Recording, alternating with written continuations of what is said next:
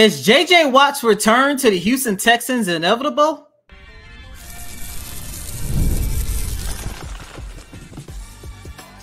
You are Locked On Texans, your daily podcast on the Houston Texans.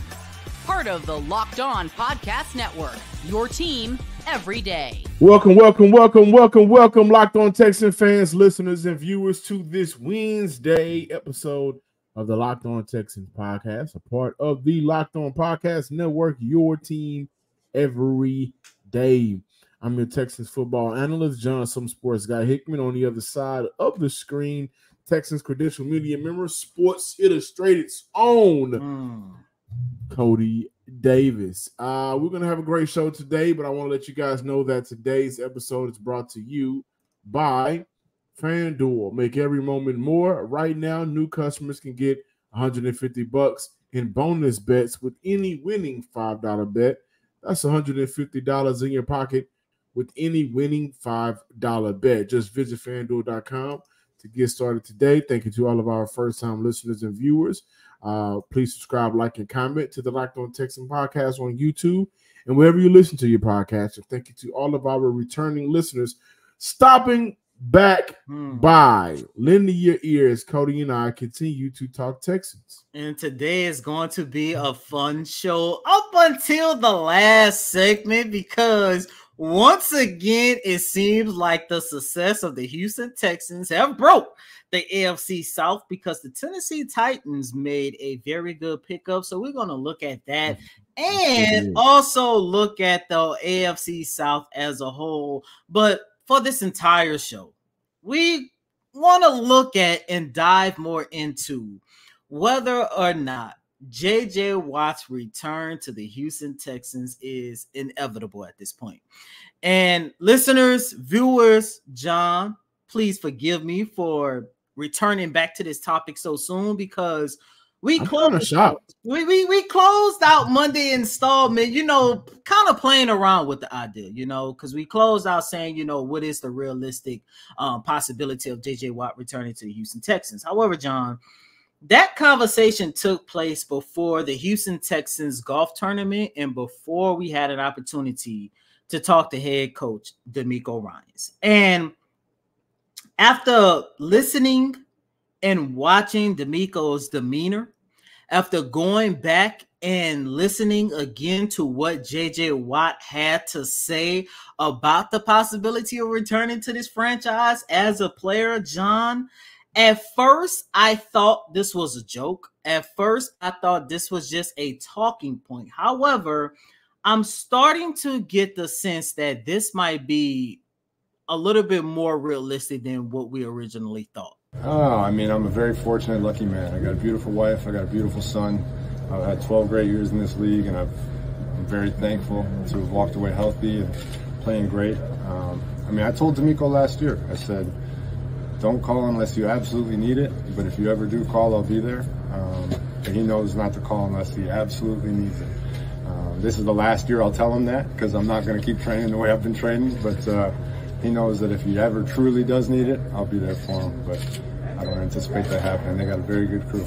I love to hear JJ saying he's ready. I got got his number ready to go just in case we need him. Uh, JJ, you know, planning this softball event this past weekend. It was, it was fun to see all the guys. JJ looks good. He's in shape. He's ready to roll. So I may need to make that call. So I'm happy that the, that, that it's open from him. But uh, you know, JJ is an outstanding player. Man, he's been an outstanding player for a long time in this league. And you know, it's just I'm proud of him for what he's able to do in the community. Still reaching back and the people that he's touched here in the city of Houston. It's outstanding to see the response and all the people that showed up to support him this past Saturday. Oh man, really proud of JJ. I need him now. I need to make that call right now. Anytime you get JJ Watt's ready to go, I'm ready to go. There are a couple things that I want to pull from that, John, listeners, viewers. Uh, first and foremost, you know me, John. I always like to pay attention to the wording of things. And the one thing that stood out to me when I went back and I listened to um, JJ Watt was the fact that he said that this is going to be the last year I tell him this because I'm not going to continue training like this, which let everyone know that JJ Watt is still training at a high level. But more importantly, when I go back and I take a listen to Coach DeMeco Ryans, another thing that I looked at when he said, I need him now. I understand when you take a look at the laughter and everything, you could take a you could make it seem like okay, maybe DeMeco Ryans was just joking with the situation. However, you guys know me. Ever since the end of the 2023 season, I've came on this show a lot and talked about how bad Coach DeMeco Ryans wanted to improve this defensive front. And they did a re- really good job improving it. They added about a three or four very good defensive linemen, headlined by Danielle Hunter. Um, you have Will Anderson Jr., who is going to be the next great defensive lineman for this organization. And everything that we saw this organization do to improve that offensive line. And look, let me be the first one to say, I love JG definitely love Sheldon Rankins. That was my guy in the locker room. We all loved and respect Maliek Collins. But those are three players who are no longer here. You replace their services, and I think we all agree that this defensive line is better than it was last year. However, John, the one thing that stood out to me the most was the fact that even with all those changes that was made before the draft, before the Houston Texans opened up their offseason workout program, Coach DeMeco Ryans was still talking about the importance of improving this defensive front. And what did they do in the draft? They really didn't address it like we all thought they was going to be. I mean, yes, you end up drafting Solomon Byrd. You also drafted Marcus Harris, and you had an opportunity to sign for Darius Payne. But those are three prospects I'm not expecting to play a vital role for the Houston Texans, at least for this year. So if you look at the fact that coach is probably still looking at this, knowing that he is one defensive lineman away, this could potentially happen. I, I think um, looking at JJ returning, you got to look at a couple key factors. Uh, number one, I don't think JJ Watt returns unless Houston believes, and I think they do now. But of course, once the season kicks off, mm-hmm. you go up against those Titans, not not the Tennessee Titans, but you go up against like those big NFL, you know, NFL team, Chiefs, uh, Baltimore, Ravens. if you the Ravens, right? You, Lions, you, the Lions, uh, Green Bay, some of those other teams that were young and made a playoff push. Once you once you go up against those caliber of teams, right? And Dallas Cowboys is in that mix as well. But prove that you can not only stay in the ring and fight with some of those guys, but you can knock some of them out, right? You can get some of those dubs. You're a different team than where you was last year. I think once Houston can do that, prove that to themselves on the field during the season, and believe that they're ready to make a deep playoff run, that adds the fuel to the fire, bringing in back JJ Watt, right? I don't think JJ Watt comes back without a real assurance within himself and within the organization that they're going to make a run to the championship, right? And I'm glad he put emphasis on, hey man, listen, you better call me. Mm. Ain't it ain't happening. I'm not coming back. Don't hold your breath because I do believe that once you settle into retirement for a certain amount of time, you step away from football in a sense of you're not putting your body through that rigorous uh, day in and day out grind to keep your body at football playing shape. Mm-hmm. So I think that matters as well. And I think when they give him the call matters as well because you definitely don't want JJ just to come in right off the streets, right? So it needs to be a, a week 10 type of deal where he can come in, get acclimated to what's going on uh, in the facilities and with this franchise now. But also look at if Houston is bringing in JJ Watt and I know that he was going through some personal things. So Coty, please stop me. Uh, give, give me some knowledge if if I'm miss if I'm providing misinformation. Excuse me. But where does that mean for Dylan Horton or mm. Solomon Byrd from USC or you know does does does Tim Settle not work out for Houston? Is Khalil Davis not working out for Houston? Like who's on this roster currently. And let's look at the, the, the depth right now. Tim Settle, Khalil Davis, Dylan Horton, Marcus Harris, uh, Mario Edwards Jr., who Houston signed, right? Uh, are some of those guys just not working out for Houston? and they're not playing to the level uh, that they need to actually be a threat defensively across that defensive front. So I, I think overall you're going to look at a situation where, okay, who's not performing? Yeah. Right. And, and, and if those guys are not performing, before we call one of our greats out of retirement, who's on the market? That that's a good point, especially the the Dylan Horton Tucker one, only because prior to him going down um, with the illness in the middle of last season, he was starting to establish himself as a vi- viable piece on this defensive line. And John, that's a good point that you brought up because if the Texans are looking at him to continue his development, you also got to keep in mind how much of Dylan's performance or lack thereof that we potentially going to see in 2024 is going to be similar to John Metchie. Now, I understand in addition to John Metchie's illness, he also was coming off the you know ACL injury as well. Um, thankfully, Horton doesn't have that aspect of it, but it's still going to Horton is still going to have to have to get some time in order to get back to the player that he was. As for the other guys that you mentioned, that's an that's another smart way of looking at this as well. You know, what guys are not performing. I look at Khalil Davis as of right now. I think he can definitely um, take the helm and have a, a, bigger role in 2024. However, you also got to keep in mind maybe Coach DeMeco Ryan still want to utilize him for those situational purposes where he thrived last year. So you also well, got to take a look at that as well.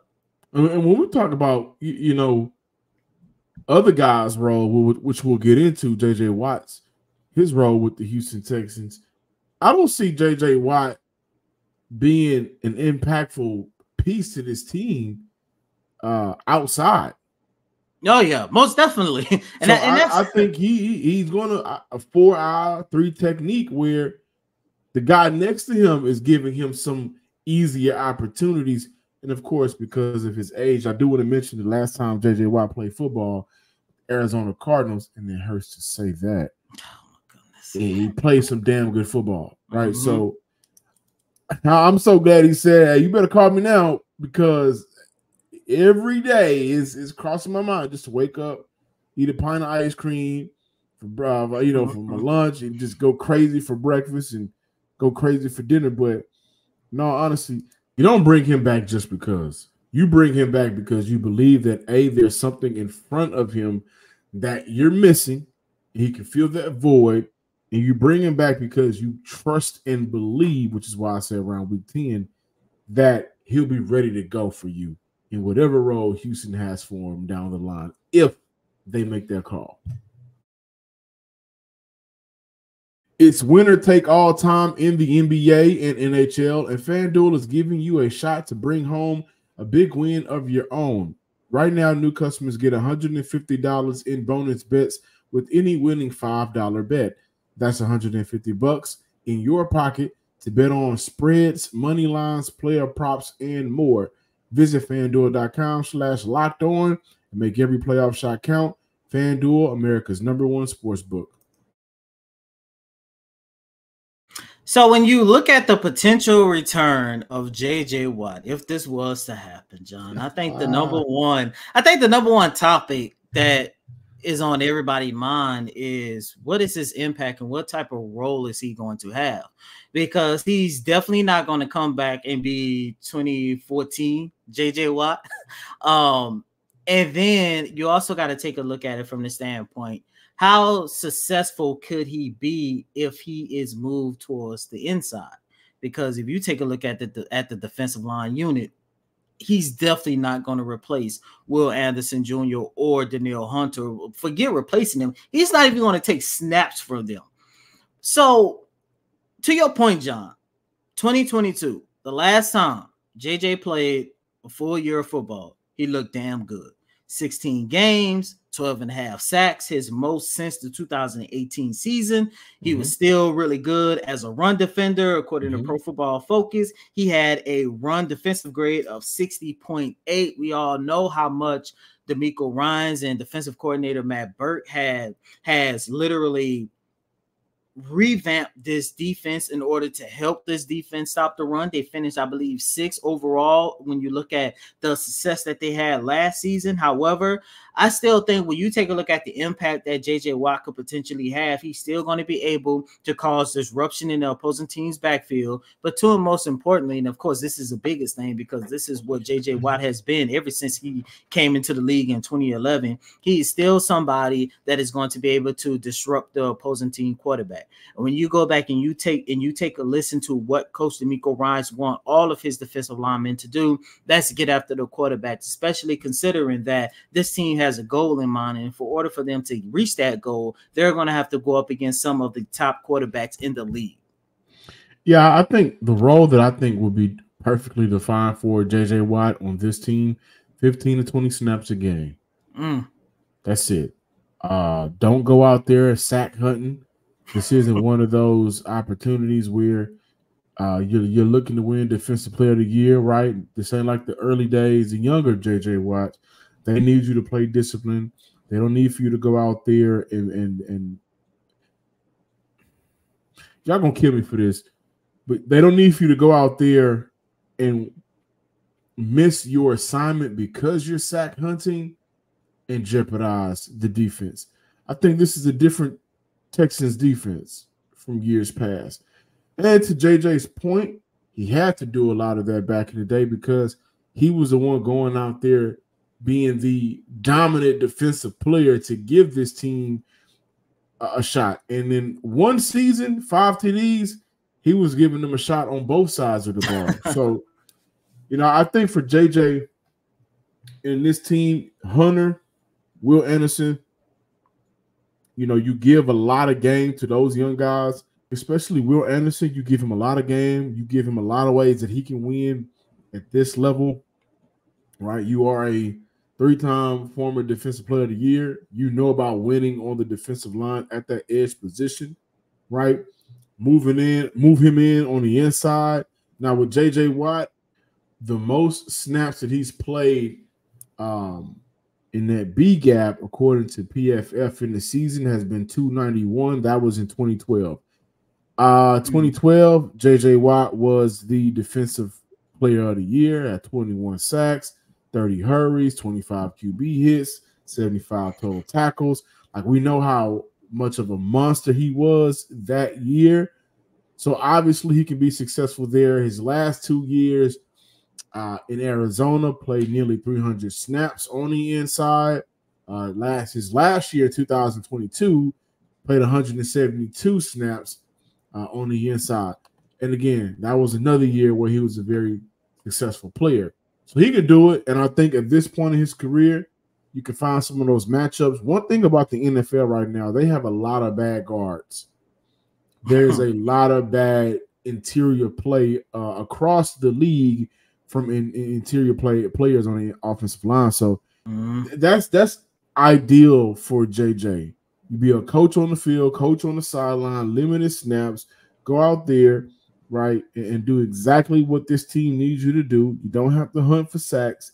And now you're looking at a team where they may be able to break the sack record that they were able to break last year uh, because you're an added piece to this team, an added depth piece who's able to win on the inside. But I definitely believe that he's an inside player uh, for this defense because of who they have on the outside him and Denico Autry on the field at one time with Hunter and, and Anderson on the on the edge, uh, you you may scare some teams on third and nine, third and eight, because who you gonna stop? Hmm.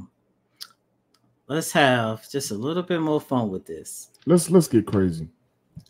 And look, y'all please tweet at Let's us. Get crazy. Let, let us know in the comments. You know, one, do you would you like to have JJ Watt back? But two, and most importantly, what type of impact do you think you would have? Let us know, please. But John, at the end of the day, there will be only one reason why JJ Watt would return to this team. That is to finally win the one thing that's missing on his resume. Mm-hmm a Super Bowl championship. Mm-hmm. So, and, and, I know I understand it's early. Hopefully, by the bye week, we can really get into this.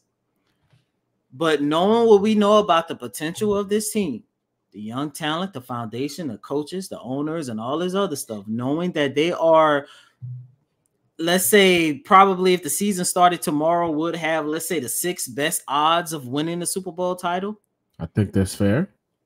Would you say JJ Watt will be the missing piece to help this team win the championship? No. No. Okay. I don't think he's going to be the missing piece. So Cause cause the the the defensive Listen, line he's that you the I, I say that only because look, the lineup that you just gave, Autry, him, Will Anderson, and Hunter, like there's no there's no team, at least in my opinion, that I could see stopping that defensive front. That that alone is like, whoa, okay. Who's gonna score on that? But when you just take a look at knowing that that will be the only way that he would come back. And if we being 100, that would be the only way for for DeMeco and Nick Caserio to put in that call and be like, "Hey, we missing this on this on this defensive front. It's crunch time. We need you to come back." man, but the thing is, a missing piece is somebody that you know uh can come in and, and be impactful, right? Uh JJ was out last year. A missing piece for this team would be a Justin Simmons, a Quandre Diggs. A Mhm. missing piece for this team would would be, you know, if all of their corners that they brought in actually play to the level that they actually can.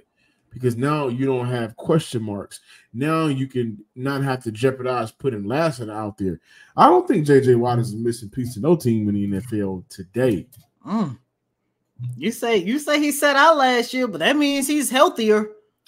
Yeah, but he but he he was out last year. He may be healthier. I, I'm sure his body has healed from some of the football hits that he's taken, no doubt about it. But I don't know what you're able to do anymore. Eddie, why don't you let me, Eddie? What have you done for me lately, Eddie? And I, I think that's a fair point, man. Like Houston was one of the worst passing defenses last year. Mhm. Houston set a sack record last year. Houston was able to get after the quarterback last year, and they were able to do it damn well in the second half of the season. What's more of an issue right now for this team? I would say passing defense. So, and not not from being able to get after the quarterback, but giving up nearly was it 250 passing yards Mhm. you know so that's that is where i look at missing pieces you got to cut that down before you worry about anything else because Daniel hunter we know he's going to get after the quarterback right and i also would say this if one of those edges god forbid knock on wood go down you definitely look to call jj because that's his expertise but Yeah. Danielle hunter will anderson that's at least 20 sacks right there Denico Autry, Tim Settle, Fatukasi, uh, Khalil Davis, right? You're gonna those guys are gonna eat at some point. They're gonna be impactful players. Houston may add to this defensive front once the NFL goes to their cut down day. So I don't think JJ is like the missing piece to the puzzle where it's just like voila, we got it all together. I don't think so be- because their biggest issue still has a question mark around it, and that is the passing defense. Okay, we got to pause the JJ Watt talk right here to talk about Monopoly Go. Flag on the play. I know that's what y'all saying. Flag on the play. We heard it before. We hear it right now because I know some of y'all ain't caught on to this hype yet. There's so much stuff you can do in this game in Monopoly Go. You can team up with friends for time tournaments where you work together to build up each other's boards. The more you win together, the more awesome prizes you unlock and there's so much more to get. Unique stickers you can trade uh, with friends to complete albums for big prizes, cool new playing pieces to travel the board with, and much more. Plus, Monopoly Go feels new and exciting every day with constantly changing tournaments and challenges. A lot, a ton include their own unique mini games. There's always something fun to discover in Monopoly Go, so get off the bench and download it now free on Google Play or the App Store. Game on. Welcome back in, Locked On Texans listeners and viewers. Regardless of how anybody may feel personally about the Adams family or Tennessee, one cannot overlook that of all the rookies that came to this division last year, specifically quarterback CJ AR. I'm sorry, he doesn't like to be called Anthony Richardson and Will Levis. Houston got a very good opportunity to see what they have in CJ Stroud. Ah, they got the, one of the oh, biggest opportunities. But I think right behind CJ, the Tennessee Titans had an opportunity to see what they have in Will Levis. I oh. know some people may have some thumbs down like Coty does right now if you're listening or if you're watching. But what you cannot do is fault them for putting together an offense around their quarterback probably better than they've ever done. Right? It's always been Derrick Henry or a very good running game, but now you look at Will Levis, Tony Pollard, Tyjae Spears, DeAndre Hopkins, Calvin Ridley, who was one of their big free agent signings, uh, their tight end uh, Okonkwo, and on Tuesday they signed Tyler Boyd, and of course he'll be playing that slot position. So their head coach and play caller right now is Bryce Callahan. We know what he can do as a play caller uh, in the NFL. With Tyler Boyd coming to the AFC South, does that change anything or how you view the Tennessee Titans? It's for me, it's not how I view the Tennessee Titans. If to me, I go back to a statement that I made a couple weeks ago. The AFC South could be arguably the most competitive division in football for this upcoming season. I know a lot of people still looking at the AFC North. That's understandable, but the moves that Jacksonville has made this offseason, I think they had a damn good offseason. Um, when you take a look at what Indi- what Indianapolis did. You know, they didn't do too much, but the only thing they did was just some small retooling. We saw how close they were to knocking the Houston Texans out of this whole entire playoff race. And if they was able to get in, are we still looking at the Houston Texans the same? Um, but speaking of the team that we cover, the Houston Texans, they had a damn good offseason as well.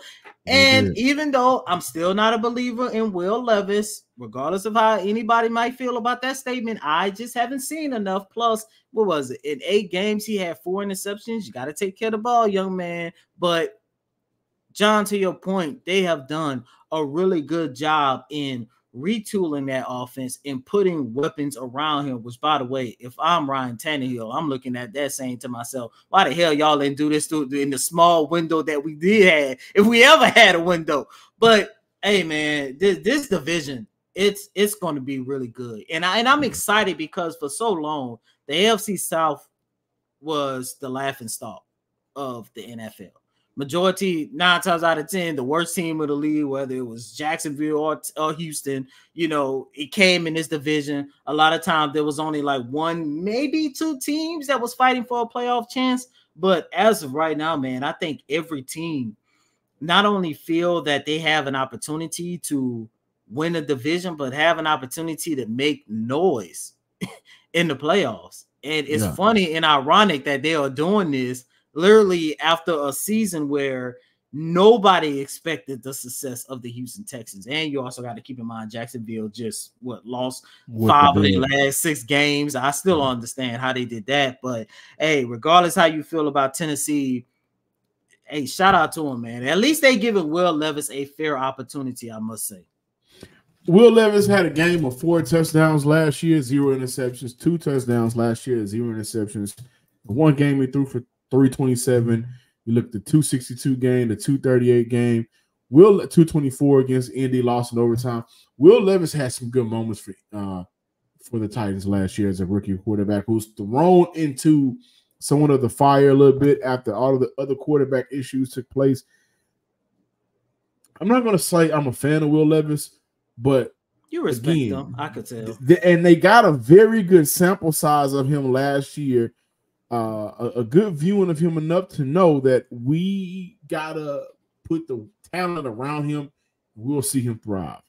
So I, I think that a lot of people will be shocked once the season ends and you're looking at the Tennessee Titans in Houston both uh, getting playoff berths. You're looking you're looking at the Tennessee Titans and saying, how were they better than Jacksonville? That ain't uh, happening, man. Uh, okay, all right. like, like honestly, like okay, all man. bias aside, oh, all God. bias aside, I'm not looking at Tennessee as a threat. Like, I still think this this division alone is a three headed monster.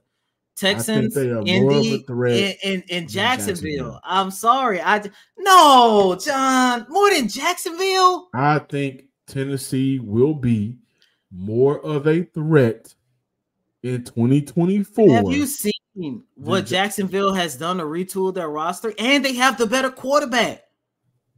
I think. Tennessee, Remember, Trevor Lawrence got hurt towards the second half of last season. I hear what you're saying. I really do.